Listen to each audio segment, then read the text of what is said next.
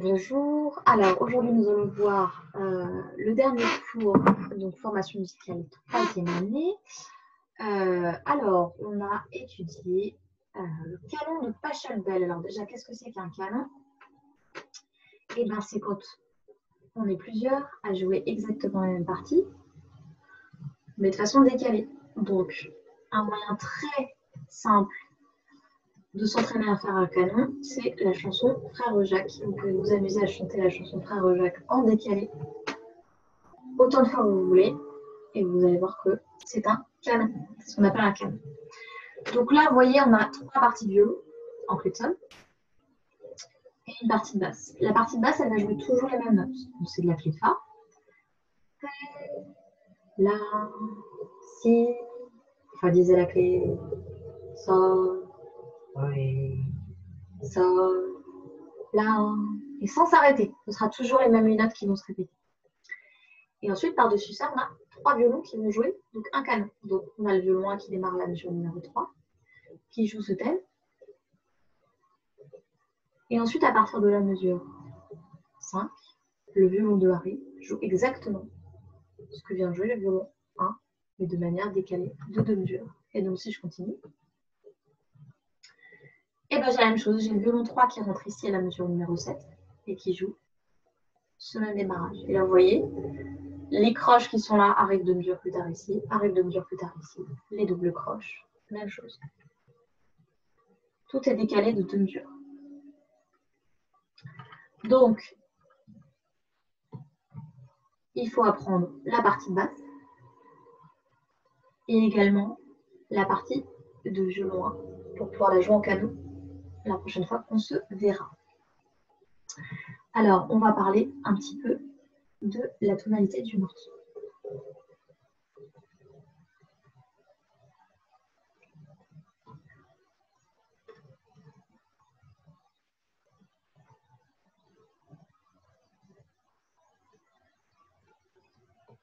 Alors, ce morceau, il est en Ré majeur. Donc, ça veut dire que si j'écris une gamme de Ré,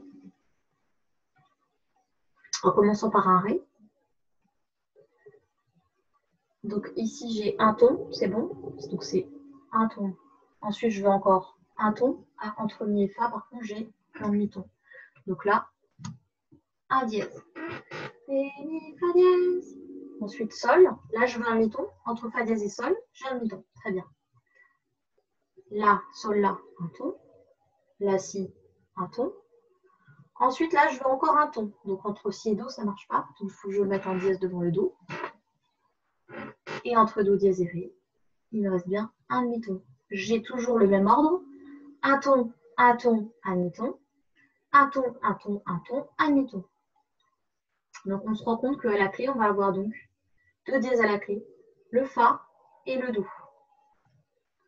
Donc, je vais les mettre à l'armure directement.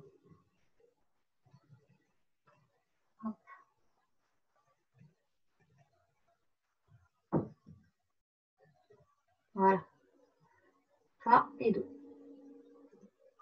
Donc ici, on commence par jouer la basse. La, Si, Fa dièse, Sol, Ré, Sol, La. Et ici le violon. Ré, si, la, si, do. Attention, fa dièse à la clé. Attention aussi au do dièse à la clé, qui a été beaucoup oublié hier. Ensuite, on va s'amuser à jouer ça de manière décalée avec les camarades. Maintenant, nous allons parler des intervalles. Alors, j'ai demandé qu'on trouve des intervalles de seconde, tierce, quarte, sixte et octave.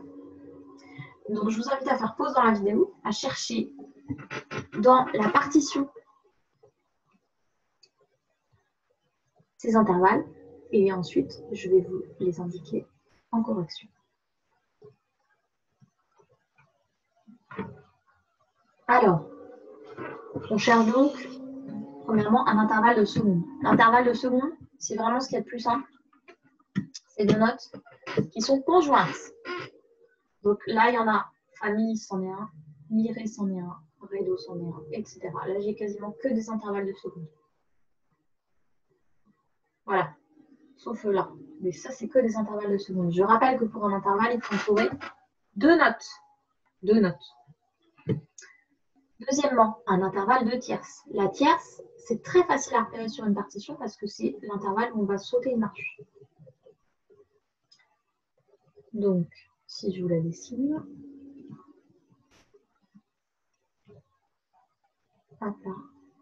voilà une tierce. Vous voyez? Là, je fais un empilement de tierces. Ça veut dire qu'à chaque fois, je saute une marche. Et là, je peux aussi faire cet empilement-là. Soit avec des notes qui sont sur des lignes. À chaque fois, j'ai la ligne suivante. Soit des notes qui sont dans des interlignes. Après, si je reviens sur ma partition.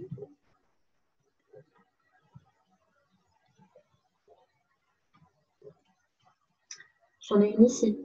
Sol. Voilà. Euh, est-ce que j'en ai à la base? J'en ai pas à la base. J'en ai une ici sur les deux premières croches du violon. Vous voyez? J'en ai encore une ici sur les deux croches du violon. La carte. Alors, attention, la carte. Comme je dis, on compte toujours les tranches de pain du sandwich. Donc, il faut compter la première et la dernière note. Attention. Donc, par exemple, là, dès le départ, Ré, La, c'est une carte. Ré, Do, Si, La. J'ai compté le Ré, j'ai compté le La, j'ai compté les deux notes. Ça fait donc 4. Ça, c'est une carte. Donc, attention, parce que souvent, il y a des confusions. Pareil, Ré, Sol. Ré, Mi, Fa, Sol. Ça peut monter, ça peut descendre dans les intervalles. Donc ça, pas de confusion à ce niveau-là. Voilà des jolies cartes. La sixte. bah, la sixte, c'est comme une tierce, mais à l'envers. Donc, où est-ce qu'on en avait repéré une? Là, voilà. Mi, Do. Donc si j'écris, je repartage la partition. Si j'écris Do Mi comme ça, c'est une tierce. Et c'est d'ailleurs une tierce majeure. Sauf que si j'écris Mi Do comme ça, ça devient une sixte. Mi, Fa, Sol, La, Si, Do. J'ai compté les tranches de pain.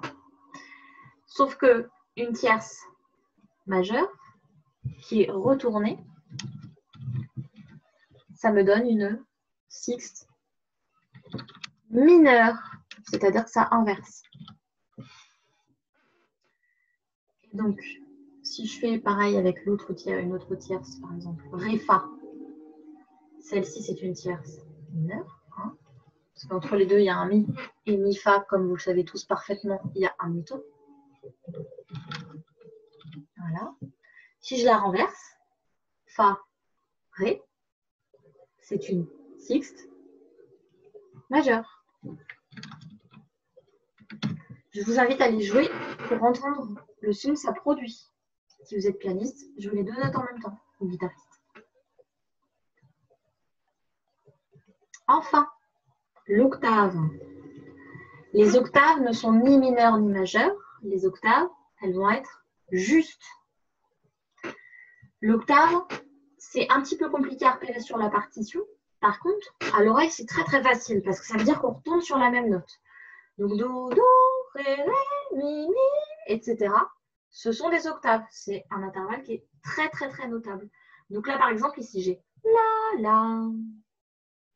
J'ai deux fois la même note à deux hauteurs différentes. Ré, ré. Ça, ce sont des octaves.